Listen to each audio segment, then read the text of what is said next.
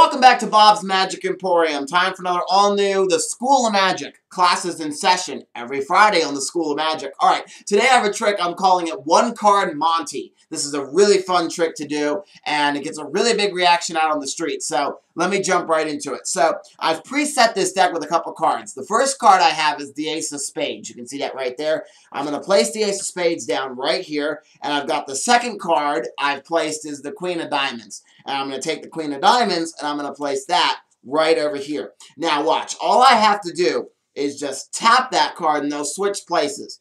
I'll tap them and they switch back. All right, that's a little bit of a joke, but uh, without looking, which one do you think is the is the Ace of Spades? Do you think it's this one or this one? This one here? Let's turn it over and see. No, that's actually the Queen of Diamonds. This one over here is the Ace of Spades. I was a little too fast for you, and that's one card Monte. All right, Fun trick. I love this one. You're going to need three cards for this trick. You're going to need um, one indifferent card and two cards that are exactly the same. So I'm using the Queen of Diamonds. You can use the Queen of Hearts if you'd like or any of the black queens because normally three card Monte is called Find the Lady and usually the odd colored card or the money card will be a queen. So I use two queens of diamonds. You're going to need two queens of diamonds, the same backed uh, design, and then one indifferent card. So if you're using red card, if you're using like red queens, make sure you get a black card to, to balance it out. I like to use the ace of spades but you can use any black card that you want. I just wouldn't use another picture card. So don't use like a jack or Especially don't use a black queen and don't use a king. But any other card, you can use an ace or a number card, doesn't matter. Uh, what, here's how to set the trick up. One queen of diamonds goes right on the top of the deck like that.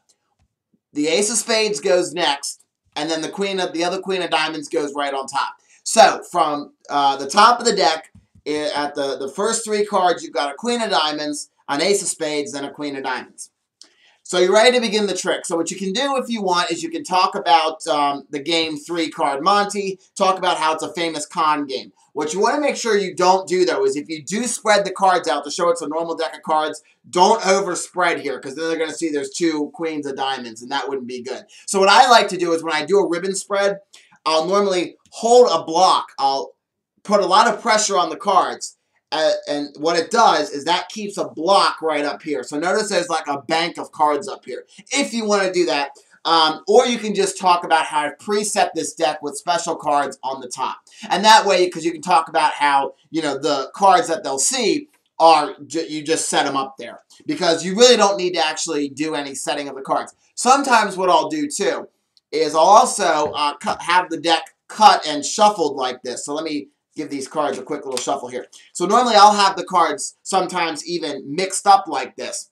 Well, normally the cards wouldn't be together. So let me spread these cards out. So the cards are all mixed up in the deck and they're all places. Normally what I'll do is set it up right in front of the spectator a lot of times too. So I'll find the ace and place it.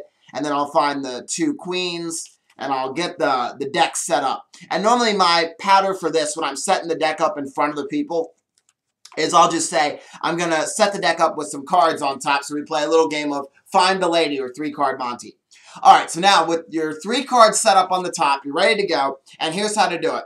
All you do is, for the first move, you take the top card and the second card and turn them over together as one. We've learned this before, and that's called the double lift. We learned that in the eight-card brainwave trick, the double lift. And I think we learned it in another trick, too. So all you do is you just thumb count with your thumb on the back of the cards, lift up one, and then lift up two. And then all you do is turn it over. Make sure, again, with the double lift, you don't do this. Don't over-exaggerate the double lift. Don't go one as you're counting two. Don't lift them up really high. Just, it's a small little lift of the cards. One and two, like that. Turn the card over, and boom. And you want to make sure that the, the thing I've seen a lot of people do with the double lift is they'll do this. Don't do that. Fingertips at the corner. So just at the corner, boom, double lift, show it, and then say, that's going to be your card, the ace of spades. Double lift again and turn it back over. This card goes on the table or in their hand. And uh, that's actually a queen, even though they think it's an ace. What I normally do is when I do this trick, I'll normally say, hold out your hand and I'll place that queen, and then I'll say, put your other hand on top. That way, they won't turn the card over and see it prematurely. Another, another thing I'll do too, if you have really good audience management, is I'll say hold the card at your fingertips just like this, but don't turn it over because it's going to ruin the trick if you turn the card over. Now, you might get, if you perform this out on the street, some spectators who want to be hecklers and they may turn this over just to mess with you. So that's why I say place your hand here, we'll place the card there, place your other hand on top. Now, this way, they have to actually lift this card up and then lift their hand up, then turn the card over if they want to get to it. So that way, it's, it's, it's more work for them to have to turn that card over. So I'll normally just say leave it like that. So, or you can place the card on the table if you want to. But again, you may have those hecklers that try to go and grab that card. So this is the best way to do it. So leave that card there. So again, uh, from the from the top, it's the uh, double lift. Turn it over, place it in their hand. Other hand goes on top.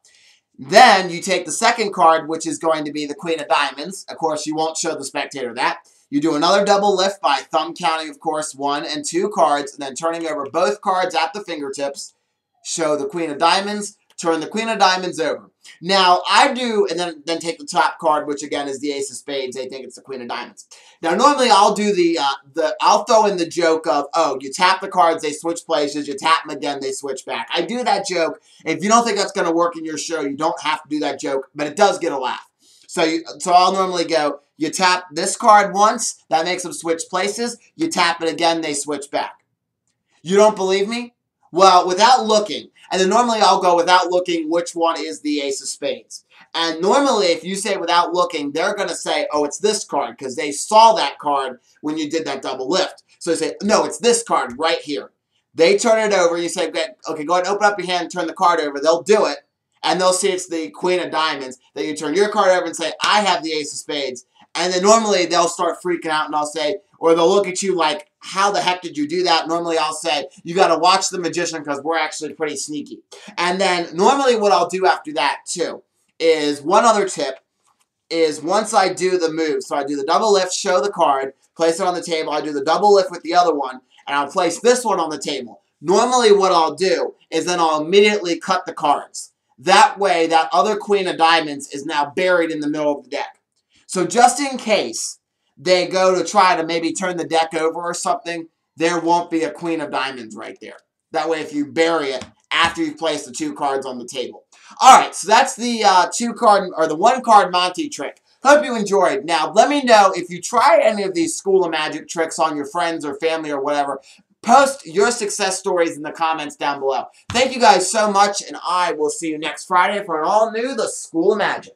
More. You know how to mix up cards? You say, you are not cards. You are not cards. You get the, the two tubes, and you get a certain amount of bottles. Let me grab one of the uh, real and usable. You're probably talking like a $100 trick. So that's why. And, and it's a real... Their selected card, we'll say there's the King of Diamonds, goes right on the table. And all